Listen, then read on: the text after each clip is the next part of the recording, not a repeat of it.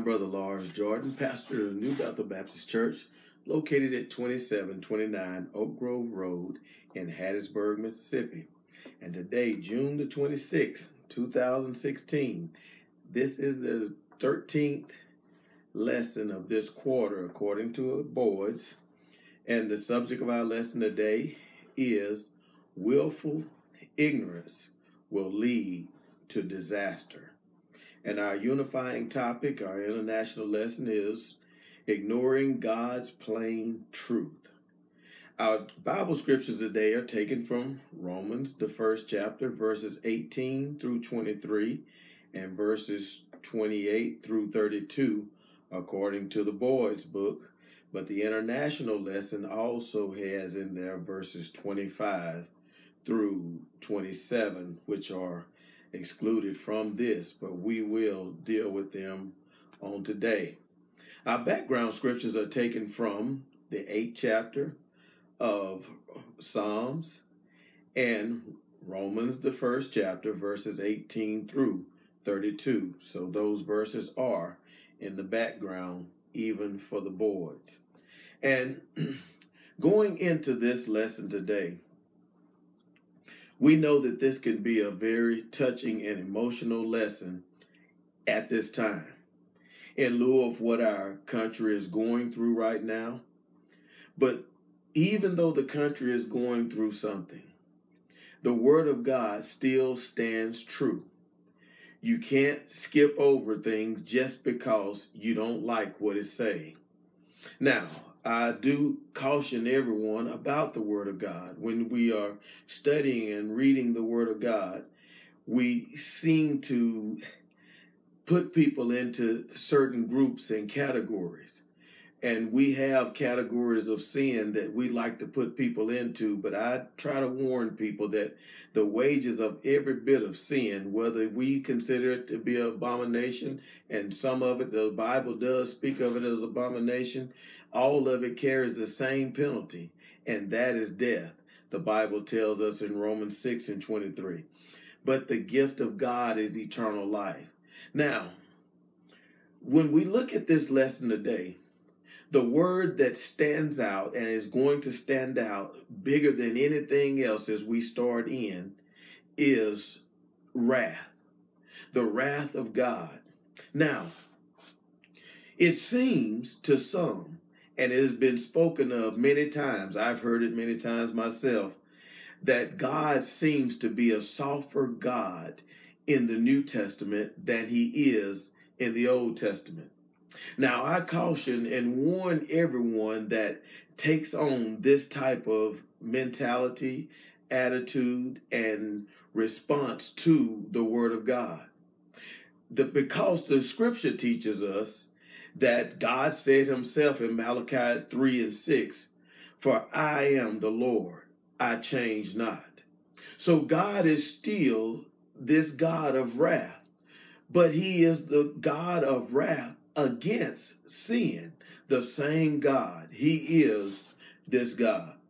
So as we get into this lesson today, let's understand that when he's talk when when the apostle Paul is talking at this time, he has a point that he's trying to make. There is a dark backdrop in the back of man so that the pearl can be seen, so that the goodness of God can be seen, so that the grace of God can be seen as we continue through this book of Romans. In this first chapter, he would go into a list where some would even see themselves in the list now, even as they are true believers. But they are not the ones that are talked about here, and we'll clearly see that as we get into this because I know some missed that and they have already grouped everybody into that. And, and when they read list in the Bible and they see that, they don't understand that that is not that them anymore because now they are in Christ. And if you're in Christ, you cannot be that type of person anymore. Yes, the flesh does have its tendencies and it steps out of bound and off track every now and then. But if you're in Christ, he has you in his hand. John 10 says, and no man can pluck you out. So now let's get started into this.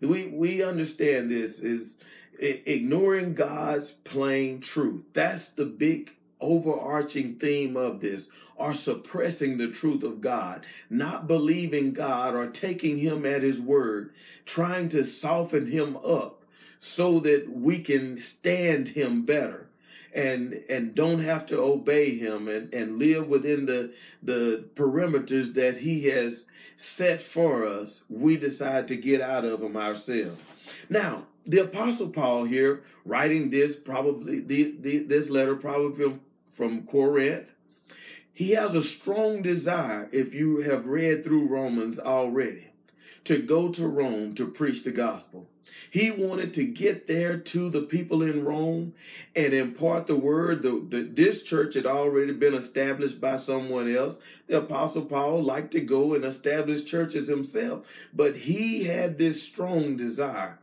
to go to Rome. But when he gets to Rome, all of us know that are uh, studiers of the Word of God. We we know that when he gets to Rome, he's brought there and he is beheaded by Caesar Nero. But this man wanted to preach the gospel in Rome. He had said there in verse 14, before we get to our, our printed text, he said, I am a debtor both to the Greek and to the barbarians and to the wise and to the unwise. So, as much as in me, I am ready to preach the gospel to you that are at Rome. Now, the Spirit wouldn't let him go, even though he really desired. And when I look at it, we may not have had this wonderful and powerful letter that we have here that has been one of the most instrumental and instructive books in the Bible had Paul made it to Rome. We don't I don't know that for sure, but I'm figuring that we may not have this book in its entirety complete as it is the Apostle Paul not leaving any stones unturned. Even the word of salvation is mentioned there in, in the 10th chapter. It is that message that all of us use when as a witnessing to when we witness to people about the grace, the mercy, and the goodness of our Lord. So here, he wanted to go to Rome. And this is one of the reasons why. Verse 16 says, For I am not ashamed of the gospel of Christ to not be ashamed of something you are totally positive and sure about that which you are sharing. He was not ashamed of the gospel of Christ, for it is a power, the dunamis power, the explosive power of God unto salvation to everyone that believe.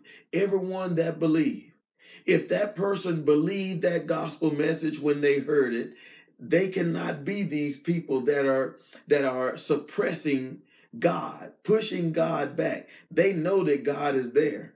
They the, the flesh may be rejecting God, but that person, that spirit of that person honestly knows that God is there and he is real. So it says that everyone that believeth to the Jew first and also to the Greeks are the Gentiles. It's, Paul would say such a thing because it has started to be a separation, as, as some would say, in the church there at Rome, because in Rome there were there were Jewish believers as well as Gentile believers.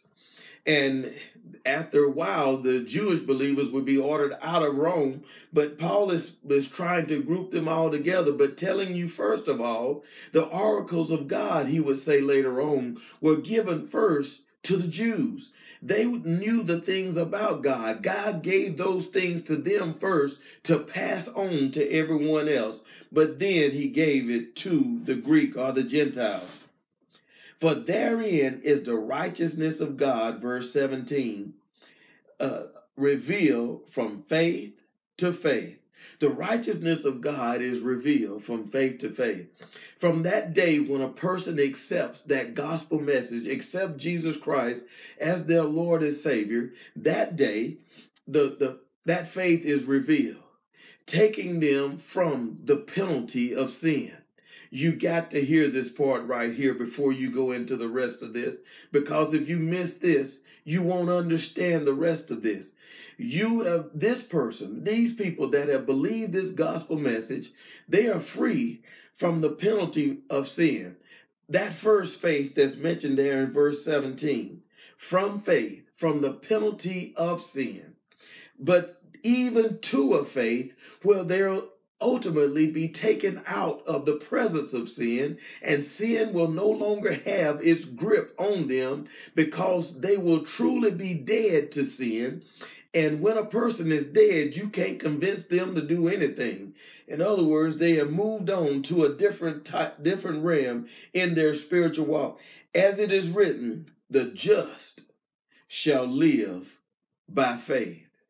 Abraham believed God and it was counted unto him for righteousness. He he had mistakes, he had errors just like the rest of us, but his belief in God his trust in God, when we trust the gospel message, when we trust Jesus Christ, it is counted unto us for righteousness. Then, verse 18 says, For the wrath of God is revealed from heaven against all ungodliness and unrighteousness of men who hold the truth in unrighteousness. Now, the wrath of God, we, we've already dealt with, with, with part of that. We know that God is the same God even now in the church age that he was there during the law and the prophets. It, he he is that he is the same God because he's not gonna change. He's gonna always be the same. The same how? He's always gonna be holy. He's always gonna be true to himself. So he's always going, going to be the same. The for the God for the wrath of God is revealed from heaven against all all ungodliness now, that's what it says here. It says all ungodliness. Those people that are totally against God's purpose, plan, and program. Those that, that are un, unruly uh, against the things of God. But not only those people, but also the people that are unrighteous. And that is that those sins that we commit against our brothers and sisters. The only way we can reveal our true love for God is through the the way the love that we show to other individuals and other people. But it's uh, but this uh, these unrighteous things are against man who hold the truth in unrighteousness who who suppress the truth here it means or withholds the truth press press back the truth keep it from coming forth in unrighteousness. That is the people that this is this is revealed against. Now, if you miss this part, and I I've read many commentaries, and most of them, when they explain that last part, they do say suppress the truth. Suppress it, but they don't show that the all is these people that suppress the truth. Now, if you missed the last part of that on verse 18, you are just about going out scatterbrain and sorry about that, putting this as peanut butter over a piece of light bread and spreading it over the whole thing. This all has a confinement of a certain people, those who suppress the truth. Those who suppress the truth. This is this is the all that he's talking about here. Who hold the truth in unrighteousness. Now, let's go on and talk about these people. Let's let's put them in, in into this. Now, be careful as you go into this because some of us will start to judge other people. And the first verse of the second chapter says, Thou art inexcusable, old man, whosoever thou art that judges another, because you do the same thing. In other words, you knowing that you don't, I don't do any of those things that I mentioned in the list. He's talking about sin. Sin is the same thing, and God sees sin as sin. That's what the apostle Paul is talking about in the first verse of the second chapter. So so be careful as you go through this when you start to put people into a department and you start looking at them a different way when you walk away from this lesson. Be careful how you do that because when you judge, the word judge there is krino. It means to judge that person to condemn them, to put them in your mind in hell. And you and I don't have the right to do that. If God turns them over to a reprobate mind, get put them in a place of being uh, unapproved or disapproved or rejected, God does that. He doesn't even tell us that He's done it. So we, that person to us, we feel like they could one day come back to the Lord. Verse 19 says, Because that which may be known of God is manifest in them for God has showed it unto them. Those things of God that could be known of them if they weren't suppressing those things if they weren't suppressing them and keeping those things back and down and and and they're staying in this ungodliness and and this unrighteousness only because really because solid because they are suppressing the truth because that which may be known of God that which they could know of God is manifest in them, for God has showed it unto them. These things that they could know, God has, has put it out there. Even though they're not believers, He has given them a conscience so that they will know these things. For God has showed it to them but they still refuse it. They the reason they don't have a good grasp on it. That's why he says that which may be known of God is manifested. They, they don't have a good grasp on it because they they are suppressing it. For God did show it to them as he shows it to us. Verse 20 says, The invisible things of him from the creation of the world are clearly seen. now that that is a paradox if you've ever seen one before, because how can it be visible invisible and clearly seen?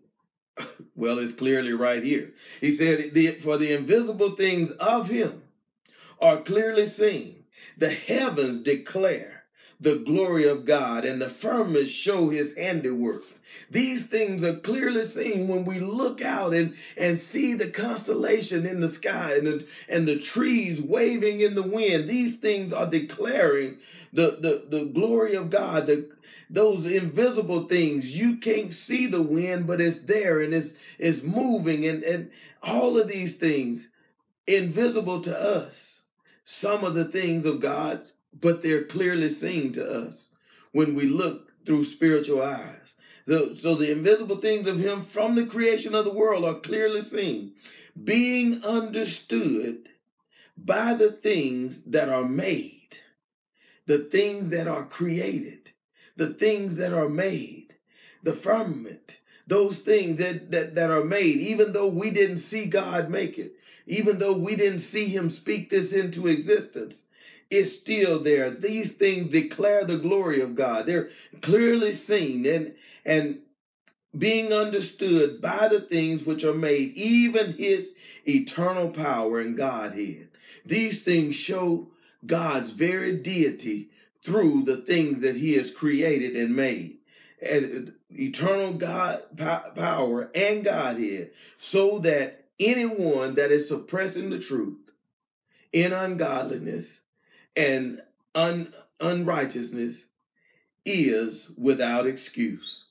That person is definitely without without excuse. Verse 21 says, Because that when they knew God, they glorified him not as God when their conscience told them that there is a God, there is a creator, even the atheist, he is not really an atheist because he knows somewhere in, the, in his mind that someone did this because God made us in his own image. So we have a conscience. So we know that there is a divine creator somewhere. They glorified him or they worshiped him not as God. They didn't lift him up and worship him as their creator, as God. Neither were they thankful when the, the simple things in life that they wouldn't have if he wasn't the one giving them to them. They were not thankful for those things because they were suppressing the truth about him even being God, but gave them, but became vain in their imaginations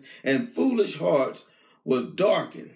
They in themselves, they created their own, in their own minds, their own God.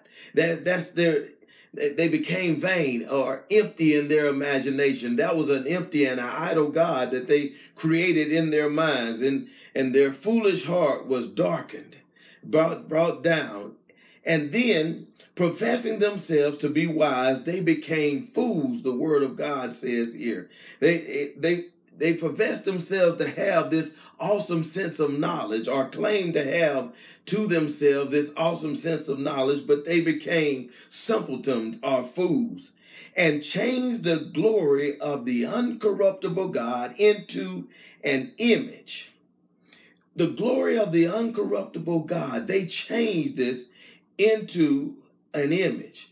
God is uncorruptible.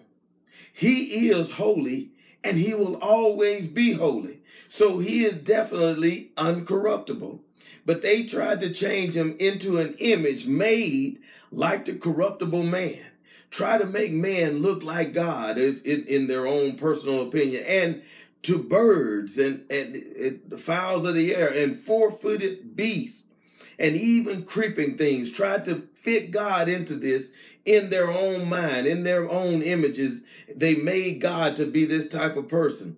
And then verse 20, 24 says, Wherefore God gave them also up to uncleanness through the lust of their own hearts to dishonor their own bodies between themselves, who changed the truth of God into a lie and worshiped and served the creature more than the creator. Start to worship the trees and the birds and the dogs more and the cows more than the creator himself who is blessed forever. Amen. Verse 26 and, and, and 27, I'm going to deal with some things that we're dealing with right now in our country. Because these things are out there, they're actually true that, that they're happening, but the word of God is against those things happening, but the word of God is against most of the things that you are doing also, especially those things that that, that you know that are sinful. So when, when we read this, don't go out and begin to to point a judging finger or a krino finger, judging someone to condemn them as we go through this because you don't have that right, but God does. But he said, for this cause, he gave them up to vile affection. Even their women did change the natural use into, into that which is against nature.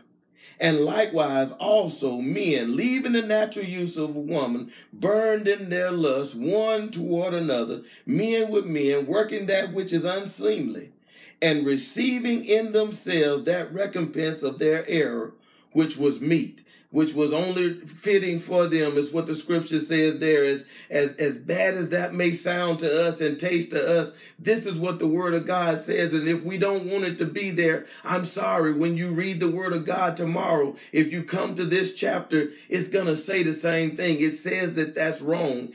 And when god gave them up that is the actual penalty. That is the actual wrath of God when he gave them up to these vile affections. Now, some will get away from that, just as some will get away from sin. And, and, and some of us have gotten away from sin, but some of us have even trusted the Lord and are still walking in some of those things. But one day the Lord is going to deliver that person just because they trusted Jesus Christ as their Lord and Savior. They didn't suppress him. They knew he was real.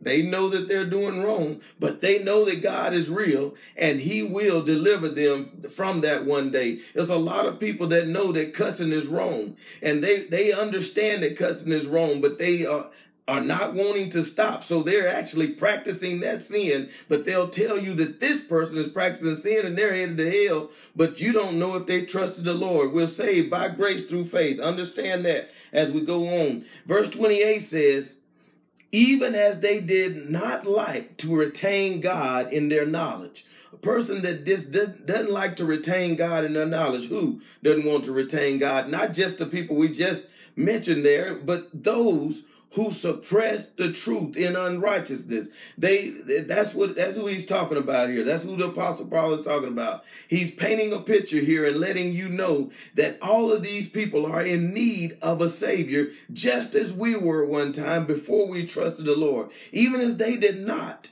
retain God in their knowledge, God gave them over to a reprobate mind to do those things which are not convenient. In other words, he gave them up. He put them into that, and that was part of his wrath playing out in their life when he gave them up to to this rejected mind, to to this worthlessness. When he gave them up to that, that's this is part of the wrath of God. We it's not always what God brought down on Sodom and Gomorrah, but but here it it is explained as the apostle Paul says here in God just giving them up. Now, he goes into this list, and this is one of the more thorough lists in the Bible, but it, it, it's almost scary when, when we read these lists because we see people, and sometimes we see ourselves somewhere stuck in that list if it's not anything except the gossip part of it. So we, we, we look at this and we say, these people, this, this is what he said being filled with all unrighteousness. It, it, every kind of evil or wickedness is, is this person right here, being filled with all unrighteousness and, and fornication, which is any type of sexual sin, wickedness, evil and sinister and vile. This, that, that's what that's that's what he's talking about when he says wickedness there. Covetousness, greed, or unrelenting urge to to have more of what you and I already have enough of. That that is, that is covetousness. Now Paul would take covetousness to another level as he get into Colossians and, and tell us that idolatry, that, that covetousness is idolatry. So he here he says maliciousness, meaning that total depravity uh, and moral evil. So and full of envy desiring something that someone else has to possess something that someone else has not just just the the material things but also physical people it it could be. To, to um, this full of envy and murder.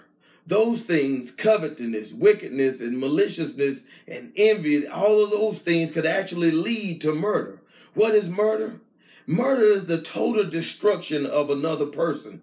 Now, when we read murder, we, we have to understand it in the context that Jesus put it in and the scripture put it in. The tongue can kill a person, and the and our anger with our brothers without a cause, we're guilty of murder, the scripture says. Debate, which is stride and competition, and uh, and also de- deceit to trick someone out of something or fraud. Malignity, always desiring bad things to happen to someone. Whisperers, that's those gossipers, those, those people that are starting starting rumors as, as well as backbiters, as just slanderous type stuff. Haters of God and and people working against God. They they, they haters of of God and in all of these things, proud, boasters, despiteful, inventors of evil things, disobedient to parents. So many are disobedient to parents, not even, not only just children, but uh, grown folks that have parents don't want to take care of them anymore without understanding and, and with senseless, unable to discern things, covenant breakers without natural affection, placeable unmerciful, placeable, unwilling to come to an agreement. That's what placeable means. And unmerciful, we know what that means. Who knowing the judgment of God that they that commit such, this is already instilled in them in their conscience, knowing that those that commit such are worthy of death, not only do the same, but have pleasure in them that do them. They have they, they don't want to stop it. They suppress the truth in unrighteousness. Father God, we thank you today for the study of your word. And Father, we pray that this word will get in our hearts and minds and simmer on us all the day long, Lord. Lord, search our hearts. Forgive us of sin. In the name of Jesus, we pray. Amen.